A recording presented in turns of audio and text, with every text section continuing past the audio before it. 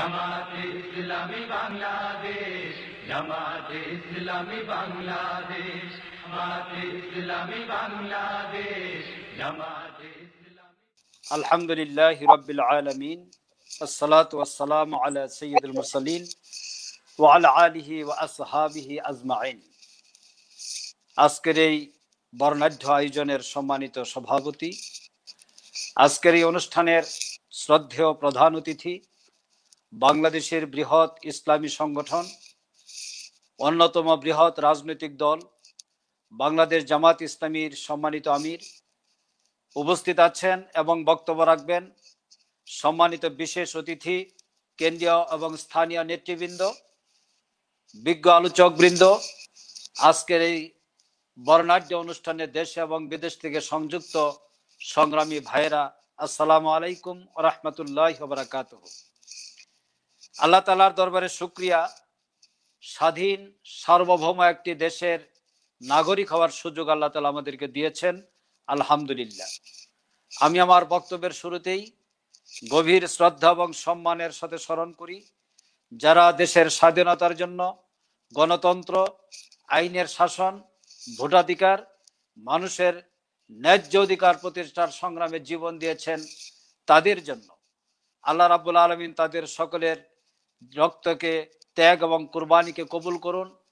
দেশের জন্য জীবন দানকারীদেরকে আল্লাহ তালা শাহাদতের মর্যাদা দান করুন। এই কামনা রেখে আমি অত্যন্ত সংক্ষেপে কয়েকটি বিষয় শুধু বলতে চাই। বিগত পঞ্চাশ বছর বাংলাদেশের স্বাধীনতা অর্জনের পর অতিবাহিত হয়েছে। নিঃসন্দেহে পঞ্চাশটি বছর একটি জাতির জন্য অনেক সময়। এই পঞ্চাশ বছরে আমাদের দেশ অনেক কিছু অর্জন করেছে। এই অর্জন কোনো ব্যক্তির, কোনো দলের, কোনো গোষ্ঠীর একক দাবি নয়।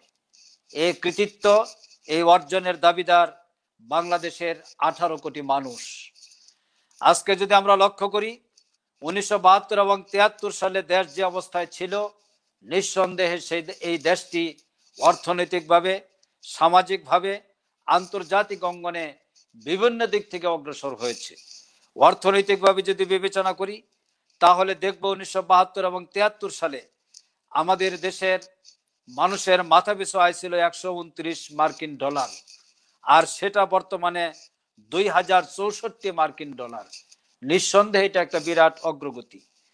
স্বাধীন বাংলাদেশের প্রথম যে বাজেট, সেই বাজেটটি ছিল সাতশত ছিয়াশি কোটি টাকা মাত্র, আর দুই হাজার বিশ এবং একুশ সালে যে বাজেটটি আমাদের সামনে উপস্থাপন করা হয়েছে, যে বাজেটের আওতায় আজকের দেশ চলছে, এই বাজেটের পরিমাণ এবং আকার হচ্ছে পাঁচ লক্ষ আটষট্টি হাজার কোটি টাকা। নিঃসন্দেহে অর্থনৈতিক, অর্থনীতির অঙ্কে এটা একটা বিরাট অগ্রগতি বলা চলে। পাশাপাশি এটাও দুর্ভাগ্যের বিষয়, বিগত পঞ্চাশ বছরে বাংলাদেশের অর্থ এবং সম্পদ লুটপাট করে বিদেশে পাঠানো হয়েছে। কারা পাঠিয়েছেন? আজ পর্যন্ত তাদেরকে উদ্ঘাটন করা সম্ভব হয়নি। এই ব্যাপারে বাংলাদেশের সর্বোচ্চ আদালত একাধিক মামলায় নির্দেশনা দিয়েছেন তাদেরকে খুঁজে বের করার জন্য। কিন্তু বাংলাদেশের আইন আদালত এবং বাংলাদেশের আইন শৃঙ্খলা রক্ষাকারী বাহিনীর যে করুণ অবস্থা, সেটা আমাদের কাছে অত্যন্ত পরিষ্কার। পঞ্চাশ বছরে বিদেশে পাচার হয়েছে আট লক্ষ কোটি টাকা। জাতীয় বাজেটের প্রায় দেড় গুণ টাকা বিদেশে পাচার হয়ে গিয়েছে। কারা পাচার করলেন? এটা তো সরকারের বাইরে কোনো ব্যক্তি, কোনো দল বা গোষ্ঠী এটা পাচার করেন নাই।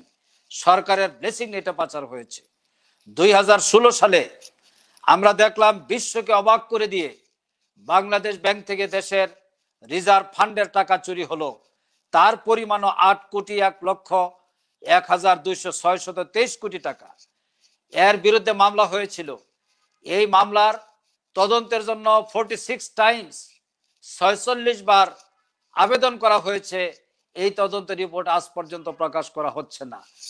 এর কারণ কি?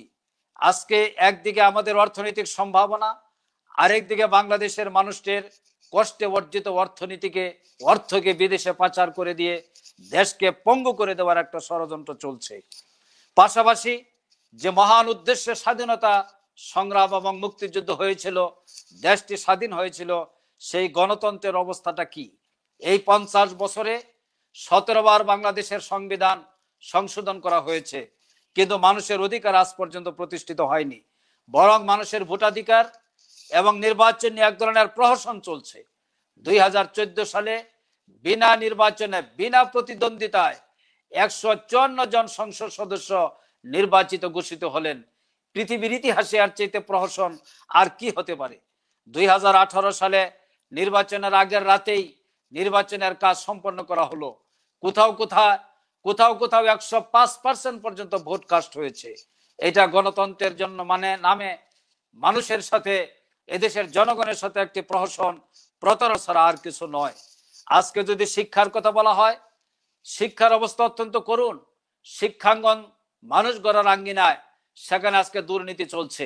আপনারা শুনেছেন বা দেখেছেন, একুশটি বিশ্ববিদ্যালয়ের ভাইস চ্যান্সেলারের বিরুদ্ধে তদন্ত করা হয়েছে। বিশ্ববিদ্যালয় মঞ্জুরি কমিশন এই তদন্ত করেছেন। তাদের দুর্নীতি এত অসহনীয় পর্যায়ে পৌঁছেছে যে বিশ্ববিদ্যালয় মঞ্জুরি কমিশন বাধ্য হয়েছেন তাদের দুর্নীতি তদন্ত করার জন্য। আজকে যদি যুব সমাজের দিকে তাকাই, আমাদের যুব সমাজ, এই যুব সমাজে আমাদের ভবিষ্যৎ আগামী দিনে নেতৃত্ব দিবে তারা, কিন্তু অত্যন্ত পরিকল্পিতভাবে যুব সমাজের চরিত্রকে ধ্বংস করে দেওয়া হচ্ছে।